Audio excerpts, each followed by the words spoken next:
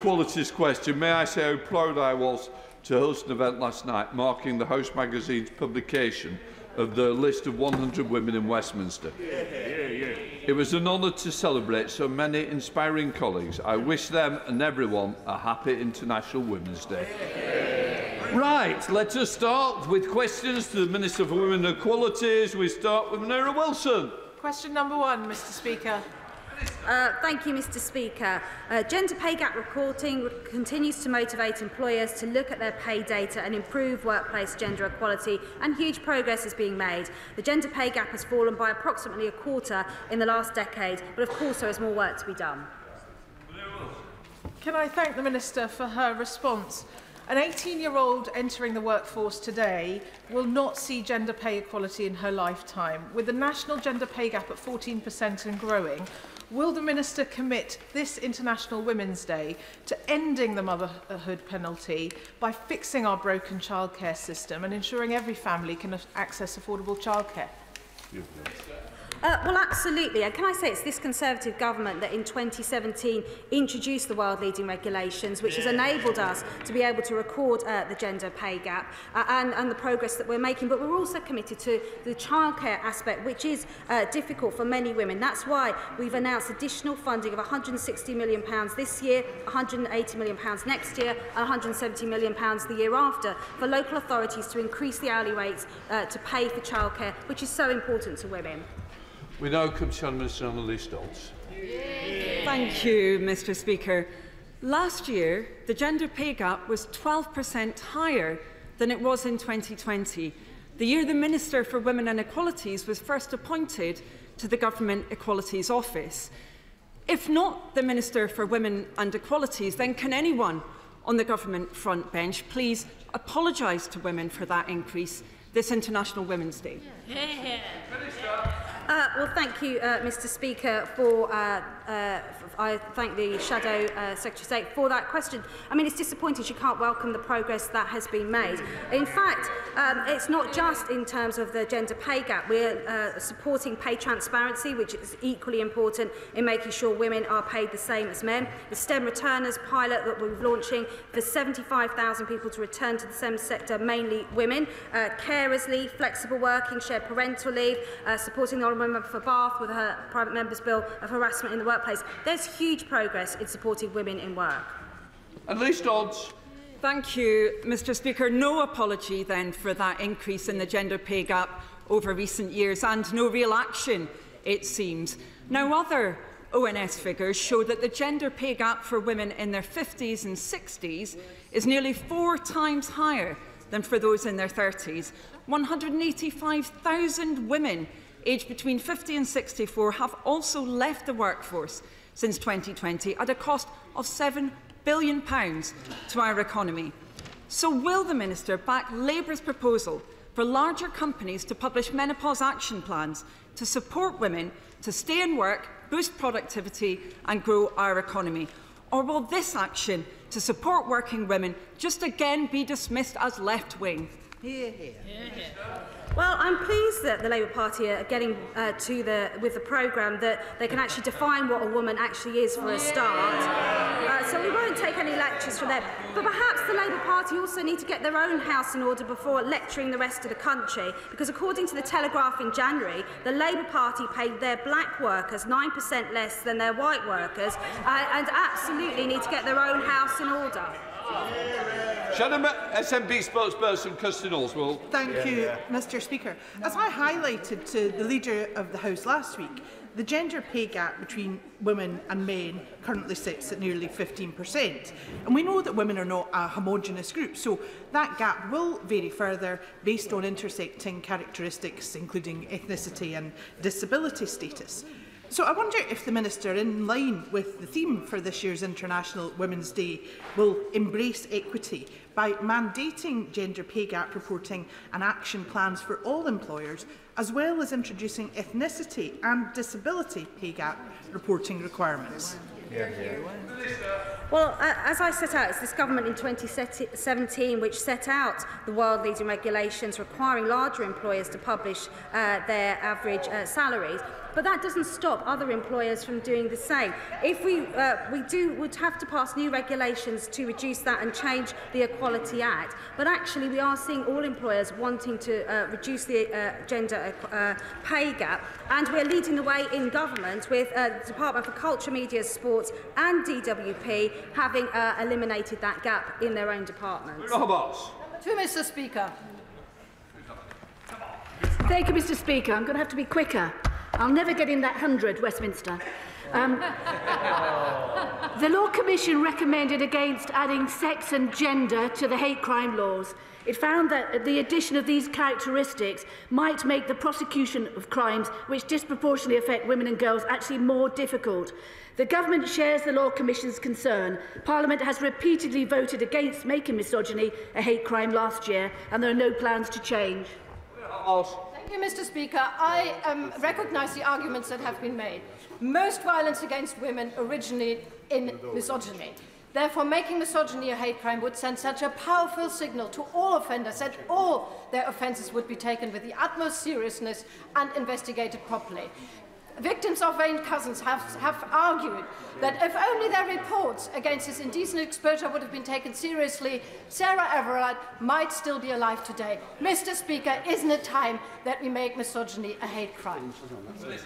I beg to disagree. It may send a signal, but it's more of a virtual signal than a real signal. We have more police officers than ever, and we are determined to stamp out violence against women and girls. Sir James Dudley. Question three, sir. Three. Uh, thank you, Mr Speaker. Health disparities exist across a wide variety of conditions, from cancer to mental health, and contribute to the unacceptable variation in health outcomes. Therefore, the major conditions strategy which we're launching will apply a geographical lens to end the disparities in health outcomes across England. Sir James. That reply. But what does she make of the interesting comments by Sir Chris Whitty around health inequalities in coastal areas like Southend, and what are the governments uh, proposing to do about those inequalities? Well, I thank uh, my right honourable friend for that question. He's absolutely right. There are disparities. Uh, there's an eight-year uh, uh, life uh, difference between a woman born in Blackpool and a woman born in Wokingham, and we want to end that. That's why our major conditions strategy is in parallel to the work NHS England's doing on their Core 20 plus 5, where we're targeting the most deprived 20% of populations in the country with the five key health conditions that are making those disparities apparent today. Martin Docker to use. Uh, speaker. Uh, the average life expectancy of a woman with a learning disability is around 18 years shorter than women in the general population. So in this International Women's Day, what can the Minister say to women with learning disabilities about the disparity in their life expectancy in Britain? Well, the Honourable Gentleman makes a very good point, and that's exactly why mental health is part of the ma major conditions strategy, because people with mental health and learning disabilities do uh, suffer from poorer physical health, uh, and that's why it's absolutely crucial that we don't see uh, if you heard, if you listened to me, he would have heard I said learning disabilities. Uh, that is why it's crucial that we don't see people with a learning disability in isolation, that we look after their physical health as well as uh, the conditions that they suffer with. The Minister Yasmin Qureshi. Thank you, Mr Speaker. Pregnant women who live in the poorest areas of England are twice as likely to die than those living in the most affluent areas. Shockingly, black women are four times more likely to die during childbirth. This government has had 13 years, but has failed to tackle maternal health inequalities. What action is the Minister taking to address these appalling disparities? Yeah. Well, absolutely. that's why we set up the Maternity Disparities Task Force. We're working with the chief midwife to drive down those disparities. And it's why we're working with NHS England and why maternity is one of those core uh, 20 plus 5 elements, because we recognise there's huge disparities across the country, which we want to eliminate. Helen Morgan. Four, please, Mr Speaker.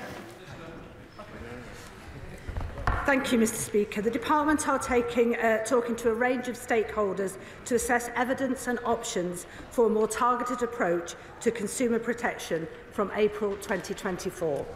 Helen Morgan.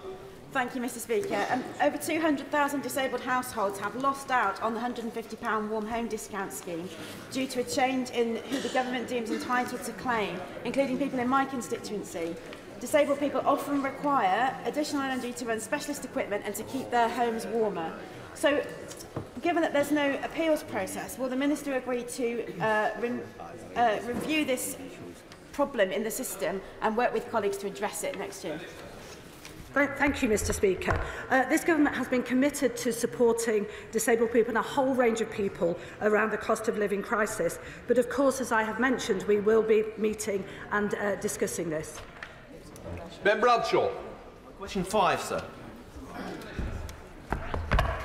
The government takes all forms of hate crime seriously. We expect the police to fully investigate all of these sorts of hateful attacks and make sure the cowards who commit them feel the full force of the law. The government is committed to reducing all crime, including hate crime, which is why we are recruiting 20,000 additional police officers. Ben Bradshaw. You will know, uh, Mr Speaker, that trans people are already the group most likely to be the victims of violent crime, and there was a massive 56% increase in hate crime against trans people in the last year against what I conceive to be a background of semi-official transphobia in England, like the moral panic that led to Section 28 in the 1980s. So what is her view of the comments of her party's deputy chairman, who called on the Conservative Party to campaign, and I quote, on a mix of culture wars and trans debates? With the greatest respect, I don't accept the way the narrative has been put with the Deputy Chairman of the Conservative Party. We have to look at all of these issues, but what I want to say is I welcome the increase in reporting of just the sort of offences that the Honourable Member says, because it's only when people come forward that we can do something about it. And I think the increase in numbers to 56% from 43% previously is a good thing, because it means people are having more confidence in the police. There is more to do, but I certainly don't accept that this government is as uh, against assisting this area, as is said. We're putting huge amounts of education and effort into this, and we will, we will reap the benefits over it in the years to come. Andrew Law. Uh, thank you, Mr Speaker. Question six. Thank you, Mr Speaker. The Government has taken steps to modernise the application process for obtaining a gender recognition certificate and to make an application more affordable. Applicants for a GRC are now required to pay £5 and the newly developed digital application process for GRCs launched on the 29th of June last year. Uh, does the Minister agree it's important to have a consistent approach for the, the recognition of overseas countries' GRC schemes and that because of the complex interaction with the Equalities Act, it's right to recognise only those countries that have equivalent approaches. Minister. Well, Mr Speaker, a consistent approach to GRCs is fundamental to the effective functioning of legislation in this area. The GB-wide Equality Act was carefully drafted in light of and reflecting the specific limits of the UK-wide Gender Recognition Act. It is important for the effective functioning of the Equality Act that recognition of international GRCs is in line with the basic principles of the GRA. Jim Shannon. You, Mr Speaker. I, I thank the, the Minister for his response. Uh, uh, there are many people in, in Northern Ireland and the United Kingdom as a whole who have concerns over gender recognition certificates. Has the Minister had any opportunity to talk to some of those organisations to get their opinion so when we draw up a policy that is one that is recognised by everyone? So, Mr Speaker, I recognise that this is an area um, of, of considerable concern for some, but I think it is important that the debate is one that is calm and measured and absolutely respects the individuals involved. I have many meetings uh, with people from around the country on these specific issues and we take careful consideration of all the points that are made, making sure that everybody feels confident that the law is in the right place. Edward Timson. Speaker, question seven. Yeah, yeah. Uh, thank you, Mr Speaker. The Department for Business and Trade is keen to support entrepreneurs from all communities, evidenced by a disproportionately high proportion of start-up loans accessed by ethnic minority-led businesses. The government supported actions aimed at improving opportunities for ethnic minority entrepreneurs set out in the Inclusive Britain report and will be re reporting back to Parliament shortly. Edward Timpson. Speaker, decision-making, leadership, commitment, confidence, resilience, teamwork and self-esteem are all skills and attributes essential to entrepreneurialism, and that is also the case uh, that this can be fostered by high quality physical education in schools, which is why today's announcement of £600 million over two years to support primary school PE and sport is so welcome. But it's also the case, Mr Speaker, that Sports England reported in December that children and young people uh, of black, Asian and other ethnicities are least likely to be active. So will my honourable friend use his good offices to upgrade from government aspiration to government policy the Association for Physical Education's recommendation to make PE a core subject in schools to help tackle this unacceptable disparity? Here, here. Here, here Mr Speaker. Uh, as someone who benefited from playing football, rugby and cricket at my state school, I am delighted at today's announcement as he refers to. My rational friend, the Secretary of State for Education, has today announced a package of activity to boost equal opportunities in school sport, both inside and outside the classroom. Mr Speaker. Mr Speaker, may I take question 8 and 14 together? Tackling violence against women and girls is a government priority and something I regularly discuss with my colleagues. We have added violence against women and girls to the strategic policing requirement, meaning it is set out as a national threat for police forces to respond to, alongside issues such as terrorism. We have launched a £36 million fund for interventions for domestic abuse perpetrators to improve the safety and feeling of safety of victims, their children, and to, risk the, and to reduce the risk posed by perpetrators. Thank you, Mr Speaker. It is a sad fact that walking home at night is for too many women and girls a time when they feel exposed to danger. And Mr Speaker, this is unacceptable. But sadly, for some when they get home, home is not a place of refuge, it is a place of danger. During the periods of the national lockdown in the pandemic, this became a reality for more women and girls, with the police and domestic abuse support services reporting an increase in cases of victims experiencing abuse in their own homes. So will my right honourable friend advise me what, what progress has been made in supporting the frontline services? I'm pleased to be able to say that Northumbria uh, PCC has received 3.7 million across the Safer Streets Fund today, the 750,000 through the current round four of a range of interventions on uh, transport and therapy. And what I also would like to say is that we have training for NHS to make sure we have an all systems process to improving this, better training for those that work in healthcare, in education, a whole system approach this government is committed to assisting. Sir Edward Leigh. Um, as the uh, father of three young women, like any parent, I worry about their safety. Society seems to become harder and old-fashioned values of respect towards women seem to be vanishing in many parts of our society, even in the police. So what practical efforts can the government make to make young women feel safe in the streets, particularly in areas of our great cities? Yeah, yeah. Well, I know that the Prime Minister has daughters and shares your concerns. What I can say is that Lincolnshire Police and Crime Commissioner has received 1.3 million across the safer streets round so far. That's almost 400,000 in the current round four for extra CCTV and police training to respond to VORG. This is part of a wider picture and we are advancing. I'm very proud of what the government's doing. Rosie Duffield. Mr Speaker, an Afghan woman is smuggled into the UK on a small boat because she can't access the resettlement scheme.